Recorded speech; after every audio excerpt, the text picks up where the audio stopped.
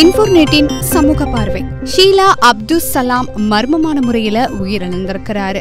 நியூயார்க்ல trail பவுல்சிங் நீதிமன்ற நீதிபதியா பணியாற்றிட்டு இருந்தவர் தான் ஷீலா அப்துல் சலாம்.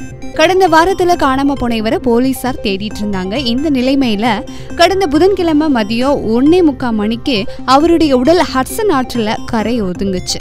இதுக்கப்புறமா அங்கு விரைந்து போலீசார்லாம் போயிருக்கிறாங்க. சலாமினுடைய உடலை மீட்டு பிரேத பரிசோதனைக்கும் அனுப்பி வச்சிருக்கிறாங்க. பெண் நீதிபதி மர்மமான முறையில உயிரிழந்தது அந்த பகுதி மக்கள் கிட்ட பயங்கரமான அதிர்ச்சியை ஏற்படுத்தியிருக்கு. அறுபத்தி ஐந்து வயதாகக்கூடிய சலாம் அமெரிக்காவினுடைய முதல் முஸ்லிம் பெண் நீதிபதி மற்றும் கருப்பின நீதிபதி என்ற பெருமைக்கு சொந்தக்காரர். இது மட்டும் இல்ல இவர் அமெரிக்காவினுடைய உச்ச நீதிமன்றத்துல நீதிபதியாக இருந்து ஓய்வு பெற்றவர் அப்படிங்கறதும் முக்கியமான விஷயம். அவர் உயிரிழந்ததற்கான காரணம் குறித்த தகவல் எதுவுமே இன்னும் கிடைக்கல.